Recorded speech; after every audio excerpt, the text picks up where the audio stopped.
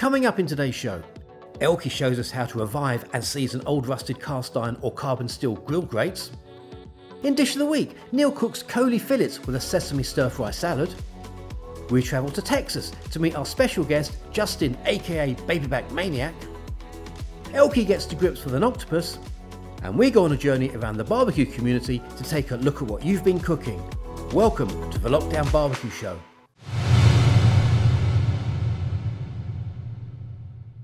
Welcome to the Lockdown Barbecue Show. This is our 14th programme, and we hope you've had a really good week. Elky, what have you been barbecuing over the last seven days? So we've actually had a few friends over in the last week. On Monday, we had a couple of people over, and I did some chicken shawarma, which was some chicken thighs on the spit, uh, cooked on the braai, all over fire with some homemade flatbreads. It was absolutely delicious. Thursday, had another set of friends over. It was one of their best days, so did a bit of a treat. I did a nice bone in sirloin, again cooked over fire. We had some scallops. It was all absolutely delicious. But the weird thing is, I didn't take any photos, no videos or anything, and that actually felt quite liberating. Then at the weekend, I did a lovely joint of gammon because we do like a bit of ham in this house. So I smoked the gammon over maple smoke with a maple glaze, and it was absolutely delicious. Now, I think you did a gammon yourself over the weekend, didn't you? I did. It was the very first time I've ever cooked a gammon on the barbecue, and we had it for Sunday lunch. It was absolutely lovely. Saturday night we had cheeseburgers, and on Friday night we had pork chops again, which was absolutely delicious. Oh, it all sounds absolutely banging, mate. And it's good that we're both outside cooking over fire as much as we are. Can't beat it. Now we're going to take a look at my how-to. In this week's how-to, I'm going to show you how we take this rusty old carbon steel grill and return it to its former glory.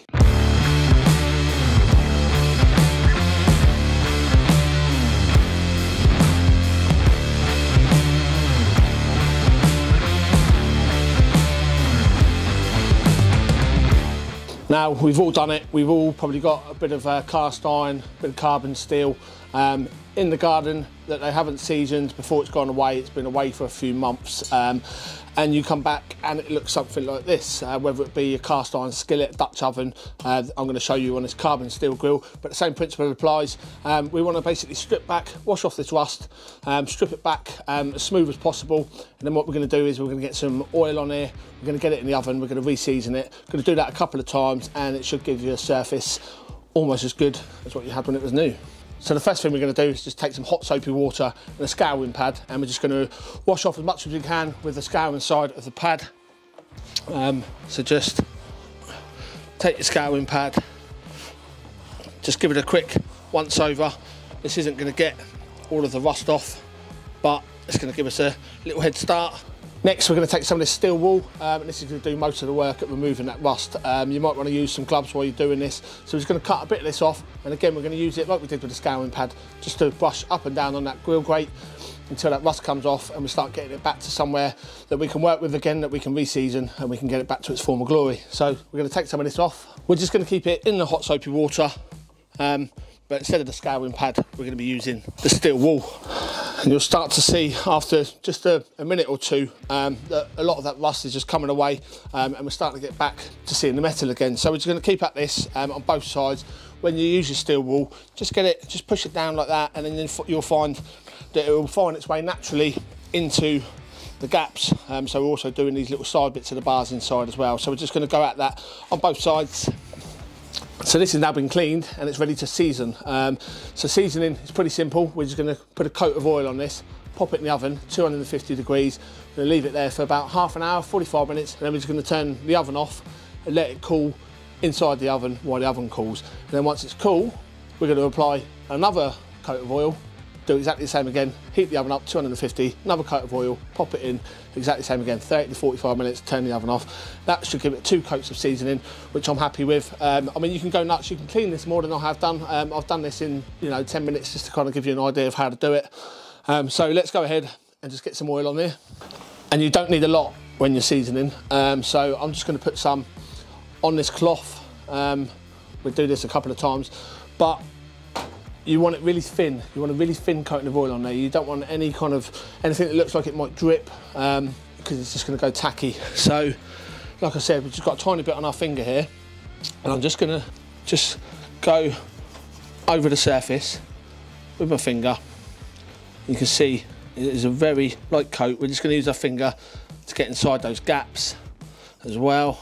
So that's it. We've coated it with our first layer of seasoning. This is going in the oven now for 45 minutes and then we're going to let it cool and then we're going to come back do the same again and I'll show you the end result. So this is our end result. Um, we've put two layers of seasoning on here where we've oiled it, put it in the oven, allowed it to cool and then put another layer on back in the oven and allowed it to cool. And all I've been doing now is just going over it again with one final coat of oil. This is cooled again now, so one final coat of oil, and then we can just put this away, and it's going to protect it against rust, so it doesn't get into a state that it was earlier. Um, or you can just stick this on your grill now, heat it up, and it's ready to cook. So like I said, just a thin coat of oil, just to protect it, or get it ready for the next cook, and that's it, job done. So there really is no excuse. Get out there, get those barbecues lit, and get cooking. That was my how-to this week. I'll see you again next week. Some fantastic top tips there, Elky. Cheers, Neil. I mean, I'm the first to admit that I don't always keep my cast iron cookware in tip top condition, but at least you know that with 10 minutes of graft, um, you can get them back to their former glories. Absolutely. Now, Elky, would you like to introduce our special guest this week?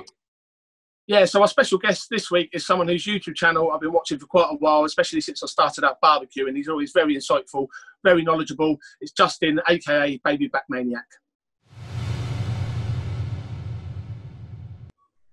Justin, welcome to the Lockdown Barbecue Show. You're based in Texas. How are you found in lockdown at the moment?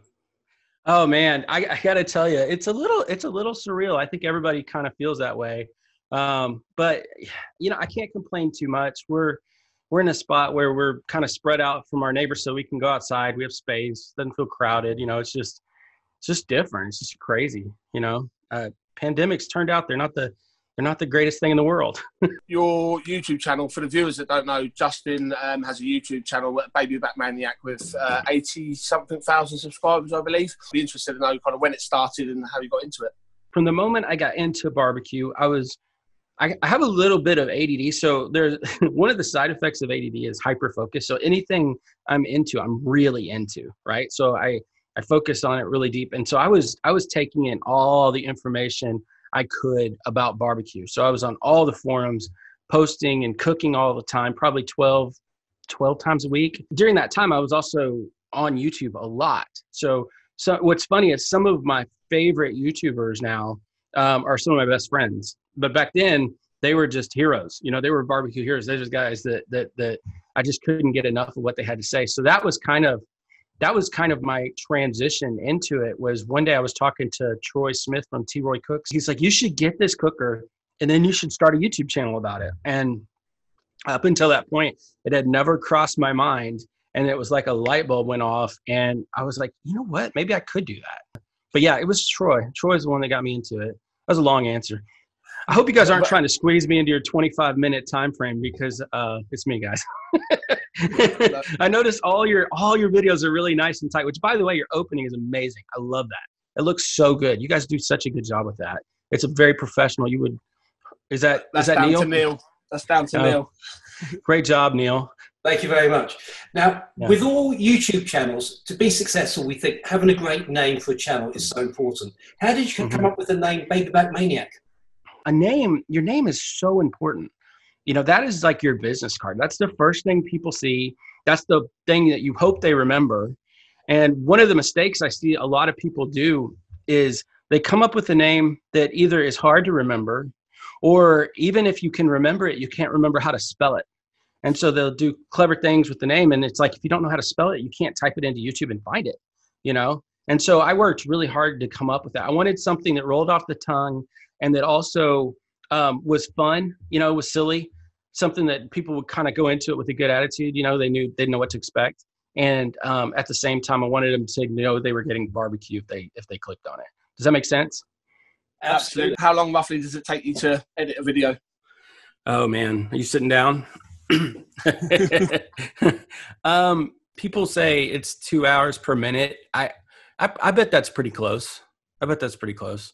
Um, by the time, and it's not just the editing; it's the from the point where I think of the concept because I do a lot of stuff. Um, I do a lot of stuff that people don't probably don't realize. Like I do a lot of SEO work, like sort like just finding things that have strong YouTube appeal, things that seem to work for my audience, things that I enjoy. I try. I always try to triangulate between things that I love, things that I know my audience appreciates, and things that YouTube has shown that it's willing to promote. So you you kind of have to have all three of those. Otherwise, it's just not going to work, you know. So I actually spend a lot of time planning out videos. Um, so from the time I start planning them out to the time I, I reply to the last comment, um, hmm, 50 hours at least. Blimey. Yeah. Blimey. It's not, it's not something I, you know, whip out in the afternoon. Justin, um, obviously you've got so much kit to cook on, um, so many dishes that you do on your YouTube channel. Tell us, um, you must have a favourite. Oh, I mean, I have to say ribs, right? I'm the baby back maniac, right? That's important. Um, you know, I, my favorite, probably this might surprise people, but beef ribs, like beef short ribs. I don't, I don't know if they're called that there or not, but the really thick beef ribs that cook, you know, you can cook for seven, eight hours and they just melt in your mouth. I, that might be my favorite. I really like a good prime rib. Um, those are those are some of my favorites. But yeah, it's all low and slow. I mean, I we'll have steak or burgers or you know just like everybody else. But for us, I mean, for me, it's the it's the low and slow, and it's not even the the, the smoked stuff is is really really great. So yeah, good answers, good solid answers. Thank you. Thank you very much. Justin, I watched one of your videos where you do a walk around your backyard. You seem to have every single brand of barbecue there. Which one's your favorite? oh man, that's a tough call. Okay, so I get asked I get asked this question a lot, and there's usually two variations of it. Which one's your favorite? And if you could only have one, which one would it be? Right? So those are my those are the two questions that I get if if you're asking me which one is my favorite, it's probably going to be my Lone Star Grills offset smoker. So it's a big, big steel monster of a pit that is uh, 24 by 48. You can pack it full of food. You burn, you know, you burn real wood logs. I usually have post oak, a big stack of post oak that throw in a log every, you know, hour or so and just sit there and smell it. To me, to me that is what american barbecue is about right there. That that especially in texas like that is that is what it's all about. And if i had all the time in the world that would probably be the only pit i would ever have. Um as far as as far as um if i had to pick one um and and i had to get rid of all the others there are so many wonderful pits out there today that there's it's almost hard to it's not hard to find a bad one but it's hard to pick one for sure. I really like my Weber Summit charcoal grill. I really like my Kamado Joe Big Joe. And then the 26 inch Weber kettle is really close to my heart. Do you guys have that there? I know sometimes you guys get the better stuff than we do, and sometimes we get the better. The, the, 26 is that the is that the ranch? That's not the ranch, is it? It's one size down. So um, they probably have it measured in centimeters there, but like it's the there's your standard size kettle, which is 22 inches. There's the ranch. The one there's one in the middle that is kind of like the Goldilocks of grill sizes because it's got all the features of a regular kettle, but it's it's quite bigger. It's like 508 square inches of cooking space, I think, something like that. Yeah, one of those. I love looking online to see what camera kit people have. And I've looked yes. on your Instagram account to see what sort of cameras. You seem to have quite a few Canon cameras. Can you tell us what yes. your setup is? I have two 90Ds, two Canon 90Ds um, because most of what I shoot is outside, and because the autofocus is so smooth, I use the kit lens a lot of the time. So the and I'm talking about the 18 to 135 kit lens. Again, it boils down to a very smooth autofocus, and then I have a Rode wireless.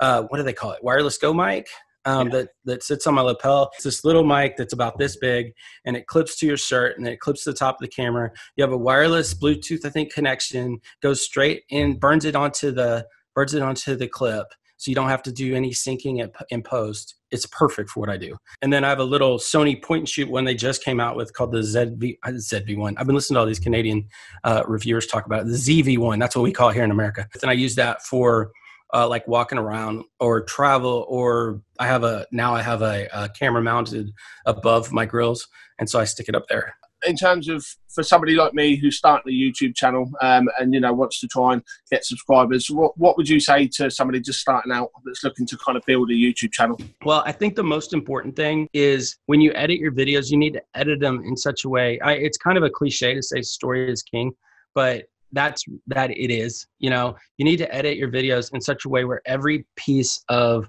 uh, of time that you have in your video is serving a purpose and if you can't if you can't tell me what it's doing for your video, then you need to pull it out. What you'll find is a sh- like a video where you pull out what's not necessary to the story, what's not adding knowledge or humor or pushing the story along. Like if you pull it out, you're you're you're never gonna miss it. That would be the main thing I would say is just every while you're editing, ask yourself, if I wasn't me, would I watch this? Being able to like ruthlessly cut out things that you don't need, super important for people keeping people engaged. Keeping people engaged for as long as possible on the video is super important. I feel like that's one of the biggest things that makes YouTube actually promote your video. Um, like if if you can keep, for me, it's about eight and a half minutes. If I can keep the average viewer on the video for eight and a half minutes, there's a really good chance that video is going to do pretty well. And the other thing that's helpful is finding topics that are underserved. My my approach since the beginning has always been people are people are trading their they're giving me their time, right? I need to give them something in return. I need to either make them feel good, help help them with the buying decision, um, make them laugh, make them make them smarter. You know, give them give them my like so that's a big part of it is thinking thinking of it as if you're serving your audience um, because i think a lot of times we as youtubers we get it twisted where we think they're here for us and really we we need to have that that approach where we're doing it for them does that make sense yeah that absolutely makes perfect sense i mean it's really good advice because um, I, I remember when i first started my videos were 20 minutes long. Um, mm-hmm. When when I look at them now, you know, I get them down to about eight minutes for the same video that will tell exactly the same story and have the same end result and, and, and be as informative. Because um, you find you, you can sometimes maybe waffle on a little bit that doesn't need to be in there. So yeah, I think that's very important is keeping the engagement there and just just keeping something happening that the viewer is going to be happy with. Justin, thank you for being a fantastic guest on the Lockdown Barbecue Show. Thank you so much for having me, guys. I really appreciate it. Thanks, Justin. You've been an absolute superstar. A big thank you to Justin. Now, Elky, Babyback Maniac, is such a good filmmaker. He really is. Like I said, I've been watching his videos since the start. They're very knowledgeable. They're easy to watch, easy to understand. So thanks again to Justin for being on the show. Now, this week, guys, we've had a bit of a switch around, and Neil has decided to take on Dish of the Week. Let's take a look.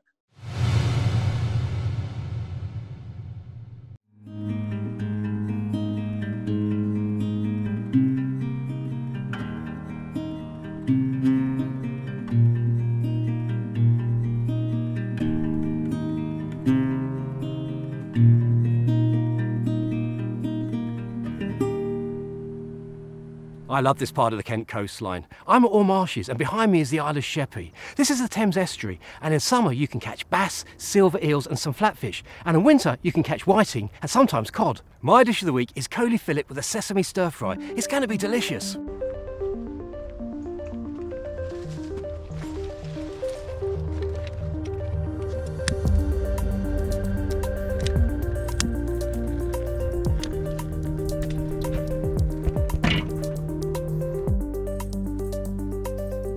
I'm going to be grilling this lovely Coley fillet from Regal Fish Supplies on my kettle grill with just a little salt and oil. Coley is a sustainable alternative for cod and haddock. It's rich in protein and vitamins D and B. Its firm texture makes it easy to handle, and like other whitefish, there are many different ways to cook it. And today, I'm going to grill it on my kettle grill. First, dry both sides of the fillet and pat gently with a paper towel to remove any moisture. Next, lightly oil both sides and put the fillet to one side. I use sesame oil to give it extra flavour. Today I'm using briquettes as my heat source, which don't burn quite as hot as lumpwood charcoal.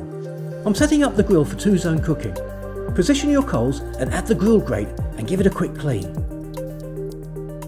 To make the Asian style dressing, you will need 1.5 tablespoons of toasted sesame oil, 2 tablespoons of light soy sauce, half a teaspoon of caster sugar, and 1 teaspoon of grated fresh ginger and one red chilli deseeded and finely sliced.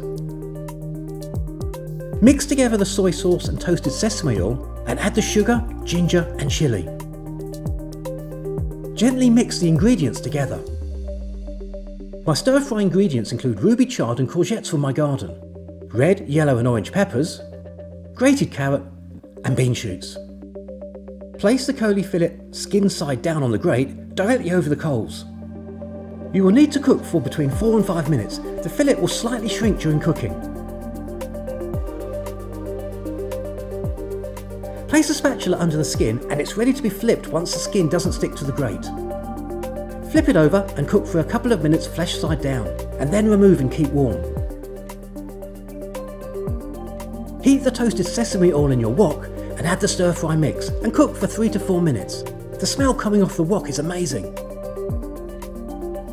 This Coley fillet from Regal Fish Supplies is beautifully moist and flaky. So this is my dish of the week, Coley fillet with a sesame stir fry salad. Drizzle the dressing over the stir fry and enjoy. I hope you'll give it a go. Seafood works so well on the barbecue and it's always delicious.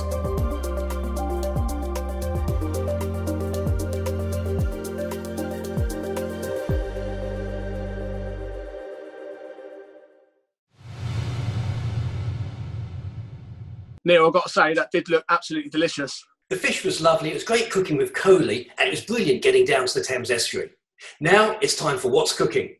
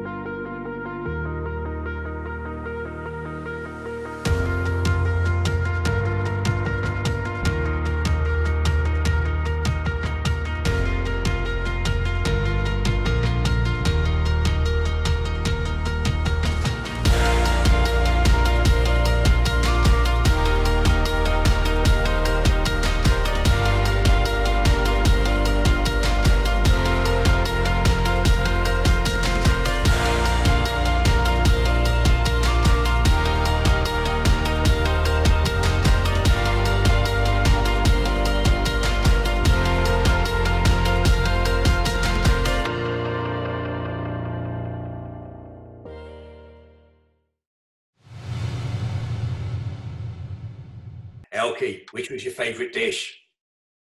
I feel like there's a bit of added pressure now. We've got the competition running with Thermapen, so I definitely need to choose right and take my time to pick. So I picked Twisted Ribs Barbecue with the sea bream and the scallops that he did. I mean, it all looked absolutely mouthwatering. So that's one in the hat with three weeks to go. Congratulations to Twisted Ribs Barbecue. Now it's time to see how Elky got to grips with an octopus this week. So I was sent this beautiful little octopus from Regal Fish Supplies, and I wanted to recreate the octopus dish that I had in Bali on my honeymoon, where it was grilled over charcoal and tasted absolutely amazing. So the first thing we've had to do is remove the beak from the octopus and also remove the eyes. And then we brought a pan of water to the boil and we start to submerge the octopus in the water. We dunk it in two or three times before we fully submerge the octopus into the saucepan. Once that's submerged, we boil that for around about 45 minutes to an hour until it's nice and tender. Then we remove and pop it in the fridge for a few hours just to dry. Now for the dressing, got some fresh oregano from the garden that we've washed and finely chopped. And to that we've added about 100ml of olive oil. Then in with the fresh herbs, in with a couple of teaspoons of lazy chilies and I've also gone in with a generous pinch of salt. Now give that a good stir and that's going to be our dressing for the octopus. Now I've sliced this octopus into tentacles to make it easier to grill and we've given it a nice coat of olive oil and some salt. Now we bring a grill up to a nice high temperature and just pop the tentacles straight onto the hot grill. We want to get a lovely char on there and here's the noise you want. Sounds beautiful doesn't it? Now give them a flip after two to three minutes. Remember we want that lovely char on each side and then You'll see that we've done some lemons as well. We're going to squeeze this over the octopus before the dressing. Remove the tentacles from the grill. Over with the lemon. Just a nice little sprinkle and then we finish it off with that lovely oregano and chili dressing. And there we go. There's my attempt at octopus and it tasted almost as good as what I had in Bali. It was bloody beautiful. Elky, that octopus looks so tasty. Cheers, Neil. It really was. The trick is to boil it, which cooks it and tenderises it, and then when you cook it over flaming hot charcoal, gives you that lovely char. We've finished off with that spicy dressing. It was absolutely beautiful, to be honest. Sounds absolutely amazing. Now, Elky, would you like to tell us who our special guest next week is? Yeah, so next week we've got a familiar face within the barbecue community. It's Ben Forte from Kamado Joe. And that's going to be really good fun. Now, thank you for watching. A big thank you to our programme sponsor, Kamado Joe, and we'll see you next week yeah, and again, a huge thanks from me, guys. Keep those fires burning, and we'll see you next week.